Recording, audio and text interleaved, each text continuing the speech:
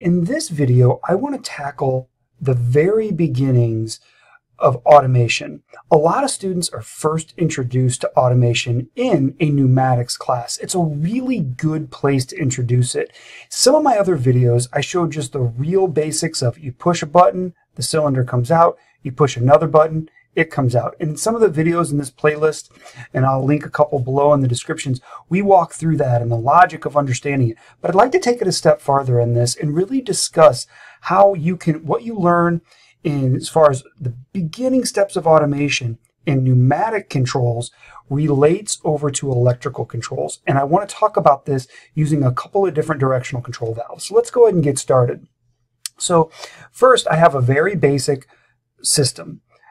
I push the pneumatic push button, it extends out, hits a pneumatic limit switch, and automatically retracts. Notice I use the word automatically retracts, so I don't have to have another hand there retracting the cylinder. So I activate this, it extends, automatically retracts. This is nothing more than another push button that would be down there.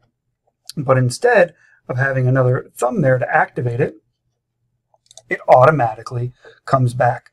Now, this is a 5-2 double pneumatic controlled cell or directional control valve, okay, right here. When you start to relate this over to electrical circuits, things become a little murky and there's some steps that you have to really understand to figure out what way is better.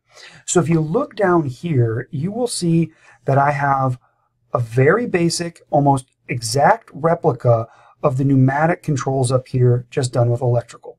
Okay, and here I switched it up, and instead of having a double solenoid controlled 5-2 directional control valve, I have a single solenoid spring return 5-2 directional control valve.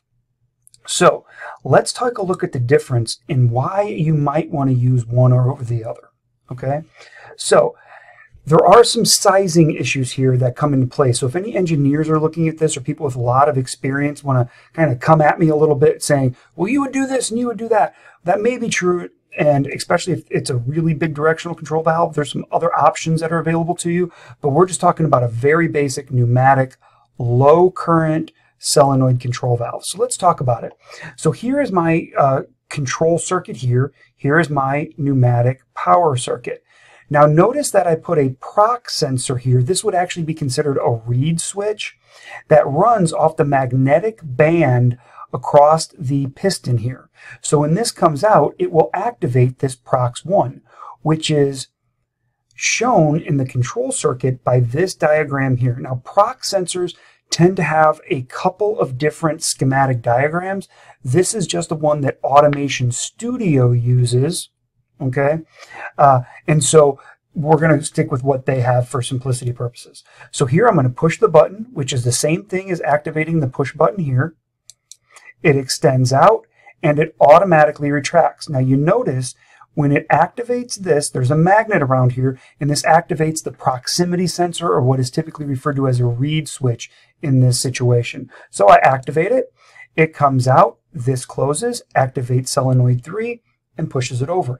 The great thing about having a double solenoid control is that it simplifies the electrical circuit a lot. All right, because once it's moved into a position, there's no spring that it has to fight to to maintain its position. So it can be much simpler. This is why you're likely to see a double solenoid control valve like this if it's not being controlled by a PLC because it's it's a little bit simpler the logic, and especially if it's something as simple as this, where there's no timing controls or anything like that. It, it, it's very likely to see something as simple as just this. Okay? Now, let's look at it if we have a single solenoid controlled spring return 5.2. Then it gets much, much different. Okay? And this is where going back and watching some of my logic videos that I've done previous to this would kind of help out because I'm going to use some terminology that if this is my your first exposure to, to uh, this type of circuit, it may confuse you just a little bit, okay? So um, anyway, let's go ahead and walk through it. So the trick with the with a single solenoid directional control valve is that you have to lock this in while it's extending because if you don't, it will, as soon as you release it, it will retract. And I talk about that in a previous video. So let's take a look at the logic here. So I have what's called a control relay that's going to do two things. One, it's going to lock memory in, okay? So I don't, I can, I only have to temporarily push this start button. And it's going to activate this rung 2 to activate my solenoid. All right. So the logic here is the start button or memory, not this stop button, not this prox2, which I have laid out here. Now you'll notice something. The prox over here is normally open. The prox here is normally closed because we're treating it like a not circuit. So this will be true as long as the prox is not activated. So when I activate this, it will behave exactly the same way as the other two. So I push it, it comes out and automatically retracts. You'll notice memory locks in for a moment. Let me slow it down here a little bit. Okay, memory locks in. Then that prox opens up when it activates this reed switch. Okay, and I'm just holding it down so it's bouncing back and forth so you can see it. All right. Now, the question would be is, well, why would you pick one over the other? Electrically, if I'm looking at this, this is much different. This is a much more complex circuit, and that's true. It also has a, a larger cost associated with it because you have a, to purchase a control relay to make it happen. And your prox sensor, and most of them are, have to have the ability to be normally closed. Most of them have the ability to be normally open or normally closed. Okay? So, the reason I'm demonstrating this to you is if you were to program this on an industrial computer, most commonly known as a PLC, this would be much easier because, because this control relay would be done internally. You wouldn't have to have an external device there, okay? And in some of my other videos, when I talk about programming PLCs, I actually have examples that are pretty similar to this. So um, the advantage here is, is that if you're using a PLC, wiring up one solenoid is much easier. It's just much easier to do compared to if you're not using a PLC, this system would be much easier to wire it up.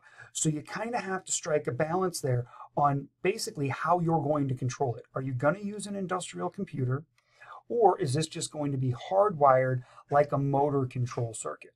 Okay, or what could be called an industrial wiring control circuit. So anyway, I hope this video helped introduce you to the beginnings of automation and how they can be taken from a very basic pneumatic system and applied into a couple of different types of pneumatic circuits that are controlled electrically, not pneumatically. So anyway, thank you so much for watching. And if you enjoyed this video, please hit the like and subscribe button.